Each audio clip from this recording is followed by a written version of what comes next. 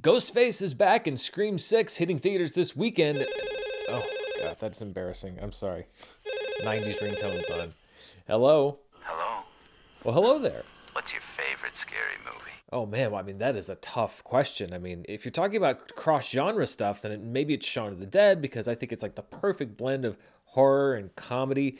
But if we're going for like the actual definition of like a horror movie, like a slasher movie, like the 70s and 80s and going into the 90s, then it would probably be Halloween. But if we're talking about everything, including like the more elevated horror stuff, then it's probably Hereditary, which you know some people say isn't a horror movie. And... Hello? He- Hello? Hmm. What a nice man.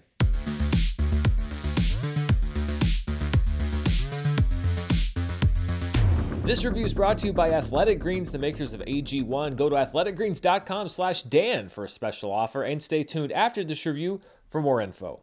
Hello, everybody. I'm Dan Murrell here with my review of Scream 6, the latest in the Scream saga to hit theaters just one year after the previous film. And I was worried that that short one year gap, basically, about 14 months between last year's Scream and this year's Scream 6, would mean that this was a bit of a low effort cash in. And I liked last year's Scream, Scream 5, whatever you want to call it. And I was hoping we wouldn't see a big drop off. And I don't think that we really did with this movie. And it's probably because the same creative team was back for this sequel. Directors Matt Bettinelli-Olpin and Tyler Gillett return, as well as writers James Vanderbilt and Guy Busick. And we have left Woodsboro for the even more terrifying climate of New York City. And horror movies in the past have had issues when they take the show to New York. But if you don't think that we see a character watching Jason Takes Manhattan within the first 15 minutes of this movie, well, you don't really know what franchise you're watching. Sam, who is played once again by Melissa Barrera, is acting as overprotective guardian to her sister Tara, played by Jenna Ortega, with twins Mindy and Chad, played by Jasmine Savoy Brown and Mason Gooding,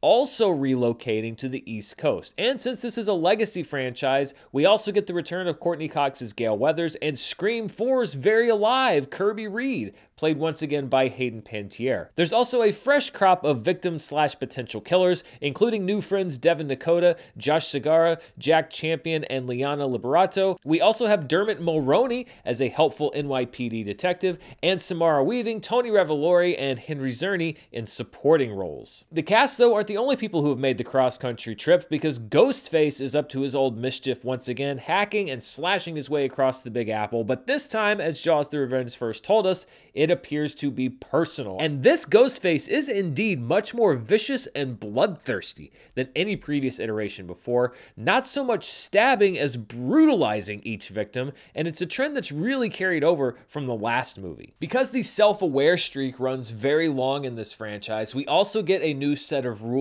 not based on a sequel or a trilogy or a reboot or any of the stuff we've heard in the past, but an acknowledgement that we are now in a full blown franchise. So it seems like there is no plan for this to be the last film in the Scream series. There's also some clever commentary, I thought, on true crime culture because we see that there is an entire movement that's built up to blame Sam for what happened in the last film because of her rather, let's say, complicated family lineage. And we see the fact that there are Redditors and other people out there that had this whole conspiracy theory that she was really behind everything and that the killers from the last film were taking the fall for her. And I like that we let these kind of modern things bleed into these films. I think that the beginning of the rise of social media kind of went into Scream 4. I think that last year's Scream had some stuff to say about internet culture in general. And then I think here with true crime culture, because how many times have we seen this play out where a crime happens and all of a sudden people are pointing their fingers at others and saying, you did it, or this person did it, or I figured it out.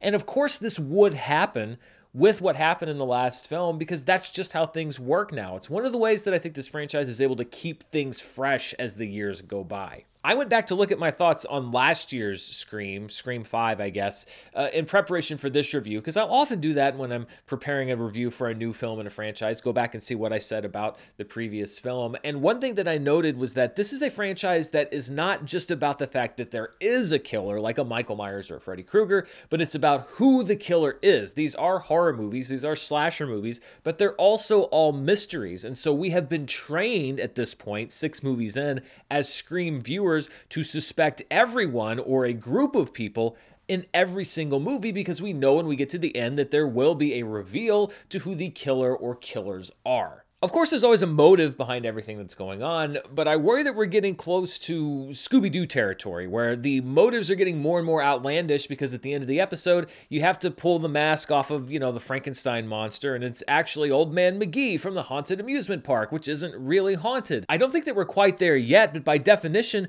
we have to get a little bit more complicated and outlandish with each film because there's been an escalation. I mean, when you go back to the original Scream trilogy, just the first three movies, we had a secret secret killer boyfriend, we had a mom in disguise, we had a psycho killer film student, we had a long lost brother, and then we've only just gone on from there. And actually, for the first time in a Scream movie on my first watch, I was able to clock who the killer or killers were pretty early in the movie and pretty much figured out their motivation. I was a little bit off on a couple of aspects of it. It was a little disappointing to me because I am usually somewhat surprised when we get to one of these movies. And then with this one, I was just kind of going like, yep, uh-huh, uh-huh, yep, that's what it is. And I think it's because it's that training. It's that media training. This is a very self-aware franchise, but it's also trained the people who are watching these movies to watch them very carefully and find these clues. And so it has to work even harder to to fool you, the audience member. It's kind of like a Sherlock Holmes type thing in reverse. The more outlandish the motive, the more likely it is to be what's actually going on. A large part of this film takes place in a shrine to the previous entries in the movie, surrounded by costumes from previous movies and props from previous movies. And I worry that if we go too much further down the rabbit hole, that we are going to get into a self parody almost that even the worst of the Stab franchise never dared to enter. Now, with the passing of time, one thing I think these movies are a testament to are the advances that medical technology have taken over the last almost 30 years or so. Because it used to be that if you get stabbed in a Scream movie, you probably weren't going to make it. Really, only Dewey had that special ability to take a knife wound or several knife wounds and then just kind of get carted away in an ambulance at the end of the movie, and then he would be back for the next film. Here, it's almost like a Monty Python sketch sometimes. It's almost like, how badly can we stab multiple people in this movie for some of them to survive? Now, they can't all survive because the plot can sometimes be vicious and it requires sacrifices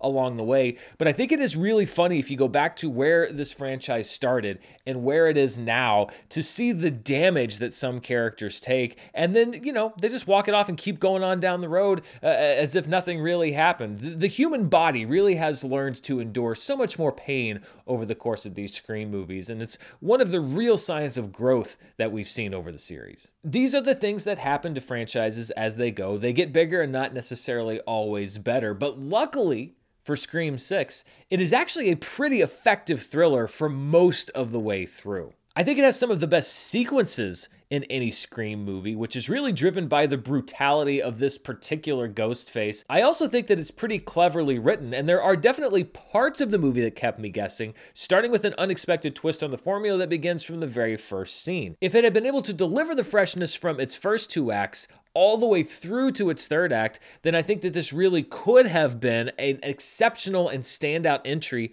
in this series. But that's another thing about the Scream franchise. This is the sixth movie. I would argue that we've never really had a truly awful entry in this series. And you can't really say that for any horror franchise or almost any franchise that's out there. Six movies in, there's usually at least one total clunker.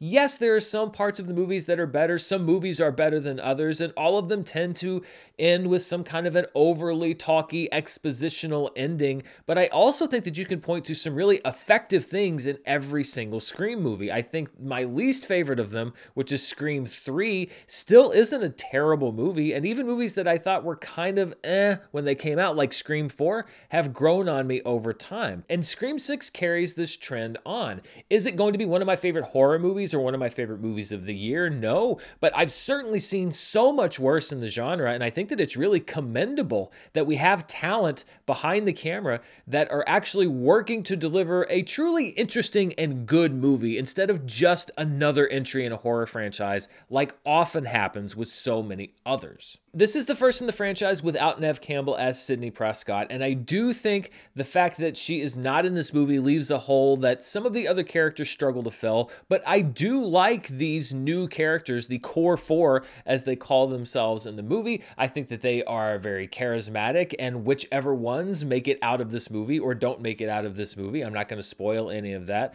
I think that the franchise is in good hands. We also have Courteney Cox returning. She does what she does, and there are some great callbacks callbacks to the Gale Weathers that we know all the way back from the original Scream. But I think that you really do have to start looking at some new directions for this franchise. And there is one direction that was sort of hinted at in the last Scream film that they mention again in this film, but don't really explore too much. I think they leave the door open to it, but I think that that would be a very interesting direction for the franchise to go. Now, it's one that other horror franchises in the past have hinted at taking, but have not taken because there is definitely some risk involved in radically changing what your franchise is about and redefining some of the main characters in that franchise. But I think when we also look at the Scream franchise and all of the history that it has, then it may be time to do the riskiest thing, something even riskier than breaking the rules of a sequel or a trilogy or a reboot or a requel or a franchise sequel or a franchise in general.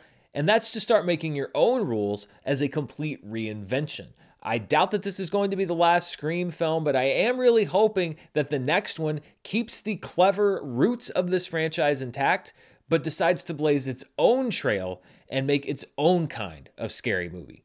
Still, though, it is a recommendation for me on Scream 6. It's in theaters this weekend. Are you planning to go see it? Let me know down in the comments below. And before we go, I want to thank the sponsor for this review, Athletic Greens, the makers of AG1. I started taking AG1 because it was hard for me to get into the routine of taking daily supplements. That's something that a lot of people struggle with. But eating breakfast is something I do every day already. So I started including AG1 in my daily breakfast shake, and it makes me feel like I'm covering my nutritional bases right off the bat and starting my day right. The biggest thing it's helped me with is improved digestion and gut health, but it's also just good to know that I'm giving my body a lot of the things that it really needs. And AG1 was designed to help you live easier and better without having to make huge changes in your daily routine. It's just one scoop of powder mixed with water, or like I said, put into a shake once a day, which makes it easy to live your best life. Every scoop is packed with 75 vitamins, minerals, and whole food sourced ingredients, and it's delivered to me every month, which makes it super easy to maintain that daily habit. So, if you're looking for an easier way to take supplements, Athletic Greens is giving you a free one year supply of vitamin D and five free travel packs with your first purchase. Just go to athleticgreens.com slash Dan. That's athleticgreens.com slash D A N to check it out. Thanks to AG1 for sponsoring this review, and thank you for watching. Also, be sure down below you can find the link to my Patreon, patreon.com slash Dan Murrell. I'm going to be doing a watch-along for the Academy Awards on Sunday night with everyone over on Patreon. Membership starts at $2. You can just sign up for a month if you want and come watch the Oscars with me. But we had a great time doing it last year. We're going to be doing it again this year. And of course, I'll have my full recap of the Oscars later on, probably late Sunday night or early Monday morning. And later on, right here on the channel, I will have my review of the Adam Driver dinosaur action action flick. Those are words I never really thought I'd string together. 65. So stay tuned for that very soon. So a busy week and weekend here on the channel. Thanks so much for spending part of your day with me. I'll be back very soon. Until then, stay safe, and I'll see you then. Bye.